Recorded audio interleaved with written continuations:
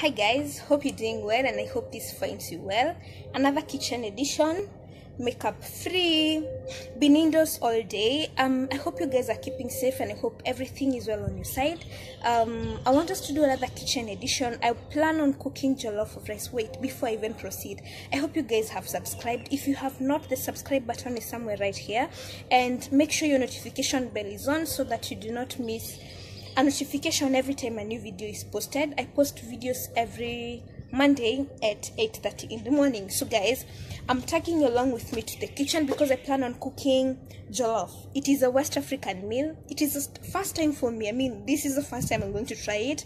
And my fingers are crossed that all goes well. My fingers are crossed and i'm hoping oh it doesn't nichomea picture. So guys that said um come with me let us go give it a try and see how it turns out.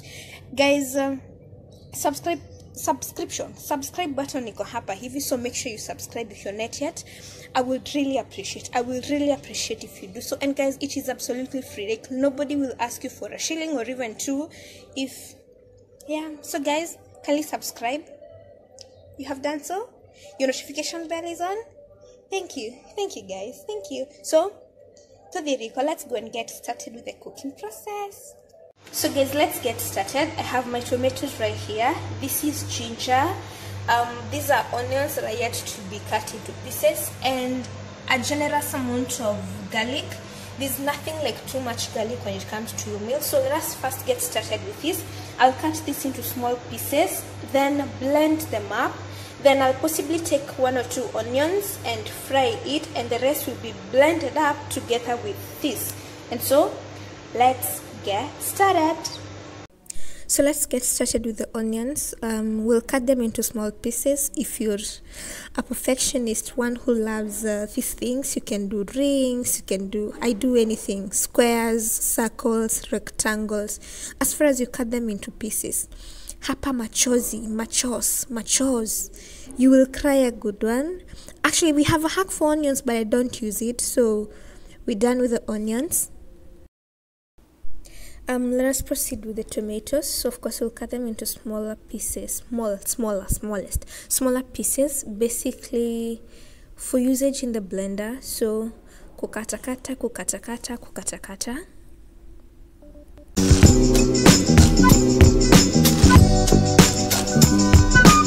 So next thing we're going to cut into small pieces is ginger.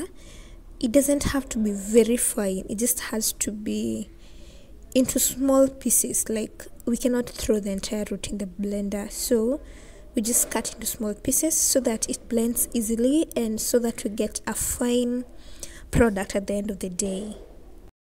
So right here are my tomatoes. This here is uh, ginger. So next I'll first put this in the blender and uh, put this second. I mean my chopping board is full.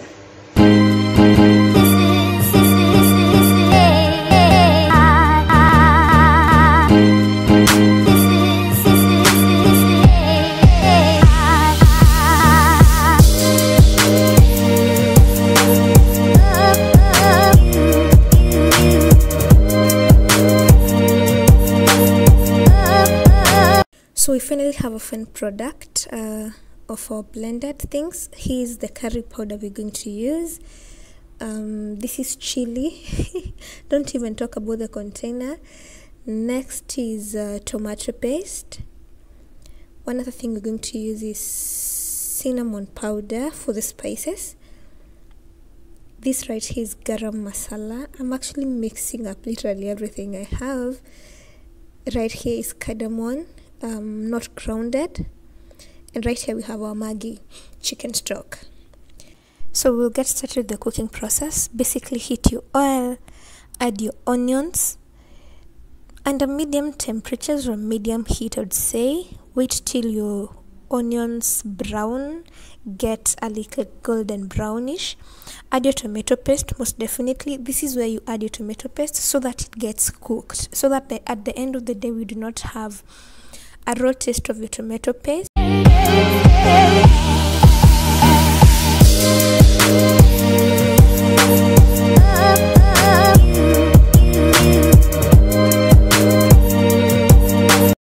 so after a couple of minutes possibly three it is time to add your blended whatever what do i call it sauce.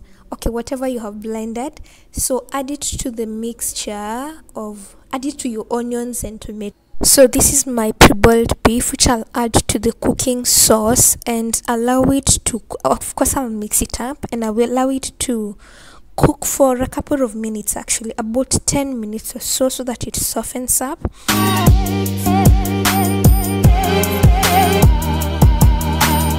So after about 10 minutes add your spices. Whichever spices you have of spices of your choice. Make sure there's curry powder though. Um, that will make the jollof. Yummy yummy yummy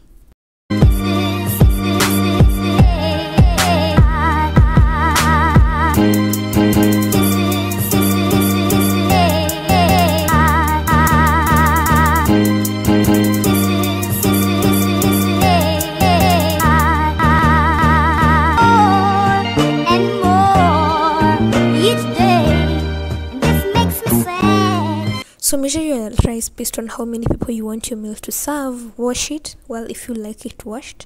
Then of course add it to your cooking beef sauce mixture combination.